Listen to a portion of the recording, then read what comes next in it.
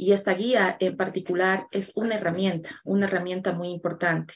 Y quisiera eh, empezar resaltando eso para luego sí centrarme en algunas cuestiones conceptuales porque mi intervención es pensando en el rol que cumplo actualmente, ¿no? Es una caja de herramientas que hay que seguirla y esta es la que hay que seguirla. A veces con eh, preocupación observo, eh, con excepciones por supuesto, pero con preocupación observo cómo cuando entro especialmente al Twitter, observo que se toman las sentencias de la Corte Constitucional y se las despedazan. Se, quiere decir eh, algo que la Corte no dice, ¿no? Y entonces se usan precedentes cuando no, o se quiere decir que es un precedente cuando en realidad no es precedente. Eso, eh, lejos eh, de aportar a la cultura del precedente, lejos de hacerlo, lo que está haciendo es destruyéndola. Así que ahora que nuevamente tenemos 118 personas conectadas, entiendo que son de la comunidad jurídica, esa recomendación en general, ¿no? Preferible seguir estas guías y bueno, porque adicional a ello eh, he podido revisarlas eh, y no tienen ningún error. ¿no?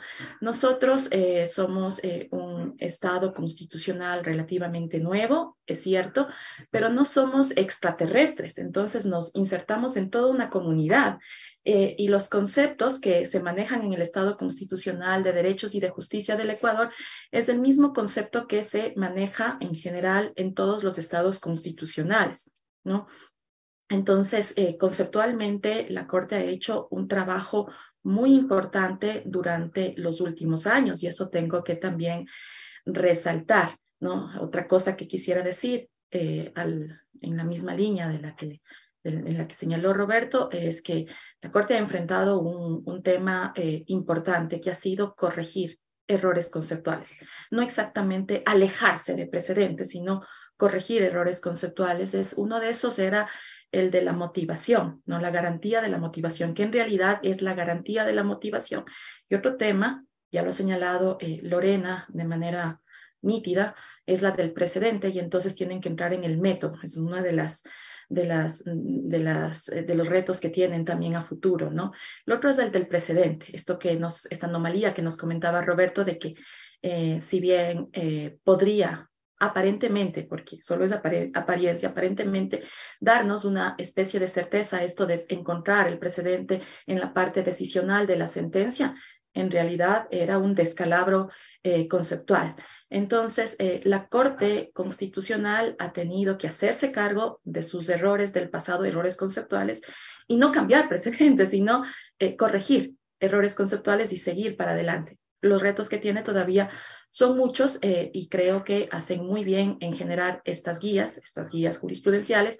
Así que felicitaciones a todo el equipo del SEDEC y felicitaciones a todo el equipo de jóvenes y brillantes juristas que tiene eh, la Corte Constitucional del Ecuador por aportar en esta eh, generación de una buena cultura jurídica.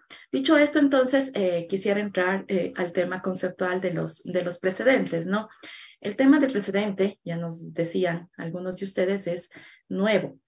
Es nuevo para nosotros porque, eh, eh, bueno, yo estudié hace más de 10 años atrás, 15 años atrás, estuve en las aulas de, más quizás, mejor ya no, no pienso en cuántos años exactamente fueron los que, los que, los que estuve atrás, hacia atrás, y no, nunca, nunca vi al precedente en las aulas del grado como eh, una fuente del derecho. Pero ahora tratar de eh, decir el precedente no es una fuente del derecho, es tratar de tapar el sol con un dedo. El precedente es una fuente del derecho, es una fuente vinculante del derecho y una fuente fundamental en un Estado constitucional, en el Ecuador como Estado constitucional y en cualquier Estado constitucional. Em, mirar hacia atrás, mirar hacia atrás, mirar hacia el pasado es común en el ámbito del derecho. No lo es, por ejemplo, en otras áreas, como cuando se va a generar política pública, ¿no? Cuando generas política pública, estás pensando en el futuro y estás pensando en las consecuencias buenas del futuro. Mientras que con el precedente estás pensando en obedecer lo que ha pasado ya y probablemente apartarte de las mejores consecuencias a cuenta de una decisión que quizás ni siquiera te persuadido esa primera visión del precedente, eh, que puede resultar en principio como desalentadora, es mucho más complicada todavía en el ámbito eh, del derecho, ¿no? En el ámbito del eh, eh, en el, el precedente, el precedente judicial es importante ver que existe, y esto ya lo ha hecho también la Corte a partir de sentencias que se fueron generando a partir del 2019, hay dos tipos de precedente, ¿no? El precedente horizontal y el precedente vertical. Ver y entender el precedente vertical quizás es mucho más sencillo, porque el precedente vertical es, tienes a las cortes, a las máximas cortes, que emiten decisiones, eh, la, parte fundamental de esa decisión, la, la regla que genera esa decisión, tiene que ser observada por los inferiores, ¿no? Entonces tenemos, estamos dentro de una cuestión jerárquica. Poquito más complicado resulta entender el eh, precedente horizontal. El precedente horizontal en donde está la idea del stare decisis, que es una, que es un, que es una, una confusión latina que dice estése a lo ya decidido, ¿no? Eh, y esto significa eh, dos cosas.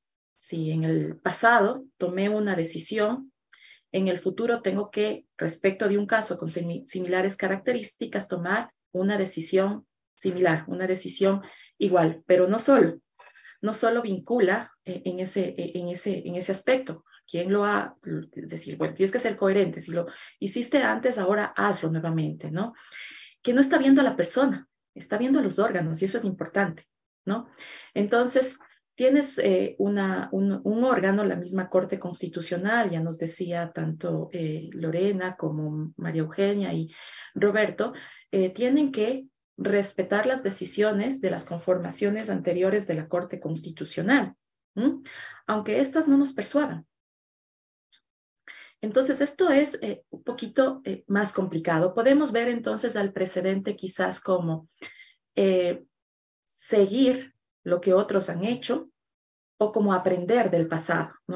Esto de aprender del pasado podría estar bien y en ocasiones puede ser que coincida con el tema del precedente. Vamos a salirnos un ratito del derecho y pensemos. Nosotros no necesariamente aprendemos de otros, sino aprendemos de uno mismo, ¿no? Eh, queremos, eh, nos ponemos a hervir un huevo y luego vemos que un día, después de seis minutos, sacamos un huevo que está eh, en, en, en, la consistencia que nos gustó. Esa es la consistencia perfecta. ¿Qué vamos a hacer después? Vamos a repetir la misma actuación. Vamos a hervir seis minutos del huevo. Muy bien, eso está muy bien. ¿Por qué? Porque eh, me surtió efecto. De la misma manera, cuando eh, un político comienza a seguir las actuaciones que han sido efectivas de otro colega político, lo que está haciendo es eh, repitiendo una, un procedimiento que es un procedimiento probado, ¿no? Un procedimiento que sirve. Entonces, ¿por qué no seguir ese procedimiento? Pero es eso exactamente lo que pasa con el precedente y dices, no, no necesariamente, ¿no? Puede ser que eh, simplemente eh, tenga que hacer, eh, pues, simplemente no me persuade y no sea el, el mejor método. Y ahí entonces encontramos esas resistencias para que puedan cumplirse los precedentes, tanto verticales como horizontales. Entonces dices, bueno, finalmente entonces, ¿por qué tengo que cumplir los precedentes si además con cumplir ese precedente puede ser que yo esté tomando una decisión que ni siquiera sea correcta? Ya nos decían algunos autores, ¿no? Que en el caso del precedente no necesariamente tienes que tomar la eh, decisión correcta, sino que la mejor decisión puede ser seguir confiando en lo que el precedente te dijo y no te muevas del precedente a menos que estés autorizado eh, para hacerlo. Entonces, bueno, entonces, ¿cuál podría ser eh, la justificación de que el precedente se conforme en una fuente del derecho, no? Si vemos los precedentes verticales, les he dicho, estos precedentes que eh, implican que los órganos inferiores mm, tengan que seguir obligatoriamente los precedentes de las máximas cortes, de las cortes superiores, bueno, es una cuestión de jerarquía, ¿no? Así como los padres, perdón, los hijos tienen que obedecer a los padres, aunque no les guste. O así como eh, cuando el eh, sargento tiene que obedecer al capitán, aunque no le guste. O así cuando eh, eh, de, esa, de, esa, manera también los órganos inferiores, o sea, los jueces inferiores, tienen que obedecer a eh, lo que ha dicho el órgano superior, aunque no les guste. Una cuestión de jerarquía que además se ve que funciona, ¿no? Entonces, bueno, entonces tengo que seguir el precedente del órgano superior. ¿Y por qué tengo entonces que seguir el precedente el que nos hablaba en inicio María Eugenia cuando nos explicaba y nos hacía un recorrido por la guía, ¿no? El heterovinculante, porque dices de todas maneras, el autovinculante tendrá que ser coherente, pero el heterovinculante, ¿por qué tengo que seguir ese, ese precedente? Si aquí ya no hay una cuestión de jerarquía, ¿no? Y ahí ingreso como un tema que es eh, relevante. Nos decía Roberto en su exposición, quizás eh, en las primeras sentencias de la Corte Constitucional, me refiero a las sentencias que se, se dieron eh, a partir del 2008, en esa sentencia se, eh, se, se, desdibujó el precedente, el momento en el que se contenía el precedente en la parte decisional de la, de la sentencia, ¿no? Quizás con la idea de dar eh, una, una certeza, esa fue la palabra, ¿no? Una certeza. Eh, pero fijémonos que en el tema del precedente por detrás está eh, dar, una, dar un halo de seguridad, de estabilidad, que no se va a, a juzgar de manera eh, distinta en casos iguales. Supongamos, por ejemplo, que se dicta una sentencia en la, sobre, sobre estos contratos en donde se ven dos partes demasiado desequilibradas.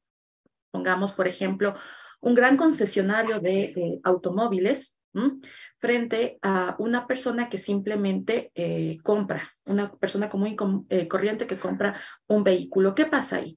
Eh, se firma un contrato tipo, en el contrato tipo existen cláusulas predeterminadas y esas cláusulas predeterminadas son suscritas por el comprador. y esto además lo estoy trayendo con una sentencia que se dio hace ya bastantes años atrás en Estados Unidos, ¿no? Entonces dice, debe, debe, debe cumplirse o no debe cumplirse esas cláusulas. En principio dices, claro, debe cumplirse esas eh, cláusulas porque no ha habido error, no ha habido ningún vicio de contratación entre las partes. Una sentencia en New Jersey que dijo, no, no. Eh, cuando se trata de este desequilibrio terrible entre un concesionario y alguien que va como un con un automóvil eh, a comprar nada más un comprador común de un automóvil, es necesario que no se tome en cuenta ese tipo de, de, de, cláusulas. Esas cláusulas debían considerarse eh, no aplicables, porque hay un desequilibrio enorme entre el gran concesionario y el comprador común de un vehículo. Eso puede resultar persuasivo para eh, otro órgano y puede adoptarlo. Pero a medida, con estas que se denominan cláusulas, eh, cláusulas ¿no? Leoninas, perdón, eh, eh, a, medida que esto va ocurriendo, puede ser que otros jueces no se sientan persuadidos y sin embargo tengan que seguir aplicando ese mismo precedente. Tienen que seguir aplicando ese mismo precedente y por una cuestión de estabilidad. Tienen que hacerlo por una cuestión de estabilidad, por una cuestión de seguridad. Dicho esto, eh, no quisiera tampoco alargarme demasiado para, para cansarles. Entramos entonces al siguiente punto. Tenemos en cuenta que es un precedente, que hay precedentes horizontales, que hay precedentes verticales, que es más fácil entender los precedentes verticales eh, que los horizontales, que detrás de todo eso también hay una idea de estabilidad, una idea de estabilidad que hace que el derecho siga teniendo vida, y por eso es que no estoy de acuerdo con esas concepciones en donde eh, tratamos de cambiar el derecho por cualquier otra área del conocimiento. ¿ah? eso también atenta contra el precedente. Ah, alguna sentencia por ahí de la Corte Constitucional con la que no estoy del todo de acuerdo porque me parece que podría estar atentando contra el precedente. Eh, entonces, eh, ¿qué es la parte más difícil? No es tan fácil entender tampoco el precedente. Tampoco aspiro que con lo que yo he dicho ahora ya las cosas quedan sumamente claras. Lo que sí creo es que la guía que ha, hecho el SEDEC eh, les ayudará y les guiará en el camino y les dejará las cosas mucho más claras para que no equivoquen. Pero que es la parte más difícil y, a donde, y, donde tiene respecto de los precedentes en la Corte Constitucional un desafío enorme, ubicar los precedentes. Y por eso es el error eh, en el que incurrió la Corte Constitucional en años pasados, de tratar de sacar el precedente a la parte decisional. Eso es imposible, está vinculada con la argumentación, pero hasta por sentido común. ¿Cuál es la razón que da cuenta de esa decisión? Ahí voy a encontrar el precedente, pero ¿cómo ubicar el precedente? Ya han habido, y nos comentaba María Eugenia en el recorrido que nos hacía, y también nos decía Lorena cuando nos contaba también la historia de por qué de actuó de esta manera la Corte Constitucional. Ya existen algunas sentencias en donde te dicen cómo ubicar, qué es el precedente y cómo ubicar el precedente, cuál es el núcleo de la decisión. Y sin embargo, no es fácil, no es fácil. Tiempo me falta para desarrollar un poquito más de esta, que es la parte más complicada del precedente, ubicar los precedentes dentro de una sentencia para que no hayan estas actitudes repetitivas de las que nos hablaba Lorena, de que eh, en general los abogados y también otros jueces eh, tratan de cualquier línea, eh, párrafo de, la, de una sentencia de una Corte Constitucional, convertirla, porque solo lo dijo la Corte Constitucional en precedente. Esta, esto requiere de método, ¿no? Más allá de encontrarme un catálogo fuerte de distintos tipos de, de precedentes, y esto es método, método. Así que es a, lo que se enfrenta también la Corte Constitucional.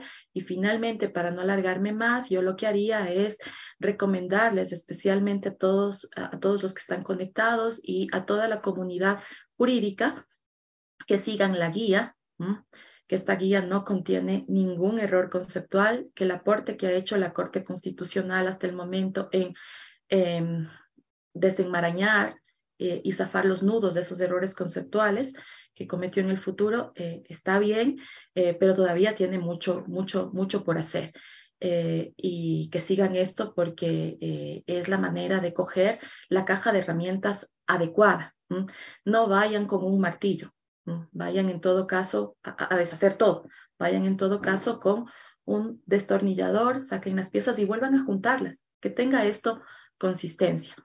Eh, muchísimas gracias por la invitación, encantada nuevamente de compartir con ustedes, de conocer a las personas, algunos no les conozco, así de conocer eh, quién está por detrás de esta eh, magnífica labor. Felicitaciones al SEDEC y felicitaciones a todos los asesores de la Corte Constitucional por la gran labor que están haciendo. Gracias.